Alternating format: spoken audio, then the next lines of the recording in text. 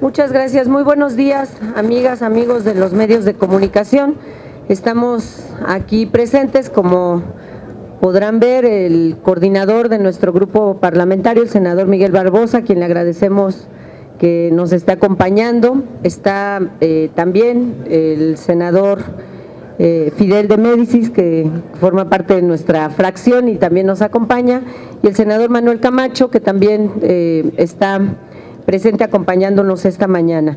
Queremos eh, confirmar, ya lo habíamos platicado, lo habíamos adelantado con algunos de ustedes, la presentación del día de hoy como una decisión de nuestro grupo parlamentario para tomarle la palabra a lo que el presidente Peña acaba de referir recientemente.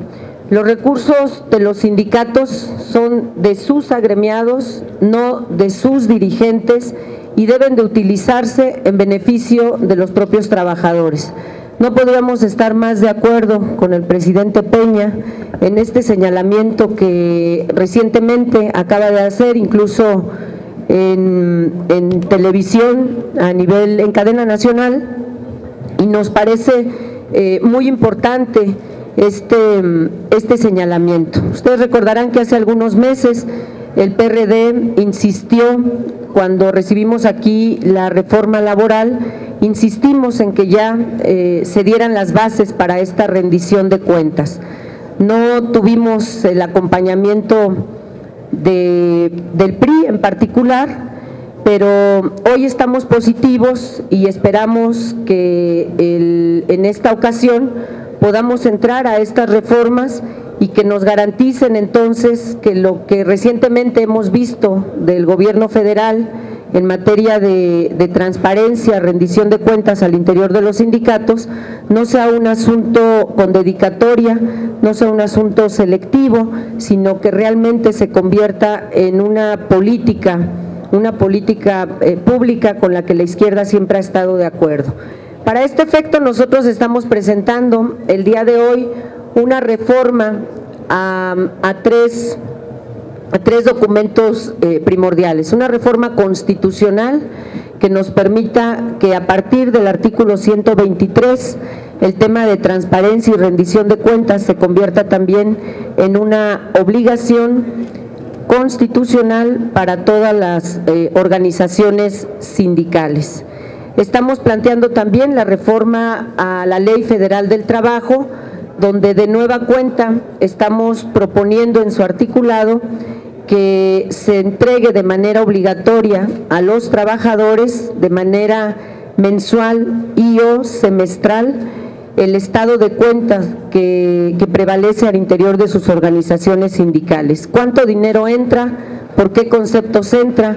Qué se hace con ese, con ese dinero y que cada trabajador tenga en sus propias manos el estado, de, el estado de cuenta firmado por los responsables de este manejo.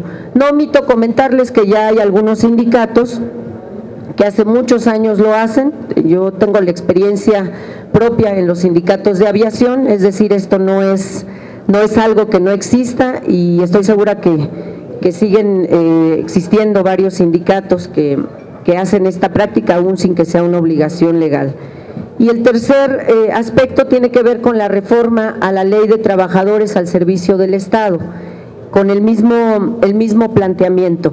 Nos parece muy importante y sobre todo para los sindicatos que reciben recursos del erario público, que es eh, decir, es decir, de las instituciones, de las empresas de gobierno, que es ahí sobre todo donde nos interesa saber cuánto destina el gobierno para estas organizaciones sindicales y qué es lo que se hace con esos recursos que, se reciben.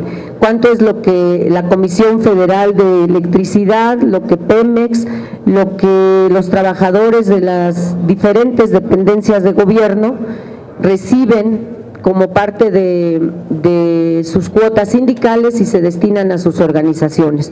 Nos parece muy importante por eso estamos positivos, presentamos esta iniciativa, eh, esperamos el acompañamiento, como ya lo hemos tenido en su momento, de, Acción Nacional, pero sobre todo esperamos la actuación congruente de los legisladores del PRI para lo que recientemente ha señalado el presidente Peña en materia de rendición de cuentas al interior de los sindicatos.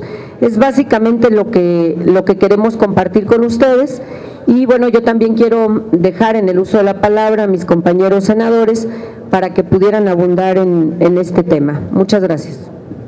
Coordinador, usted. Usted. Anímese, senador. Tiene un ataque de tos. Hace usted. Ya no Bueno, a mí me parece que las iniciativas son muy claras. Es un momento en donde vamos a ver eh, cuál es la congruencia entre el discurso y la acción política. Y lo que nosotros estamos proponiendo es que en efecto se establezca una rendición de cuentas eh, completa en los sindicatos, que haya democracia en los sindicatos y que los acontecimientos que acabamos de vivir en relación a, a la señora Elvester Gordillo no sean un hecho aislado, sino sean el principio de un cambio democrático y en la rendición de cuentas de los sindicatos y de la política nacional.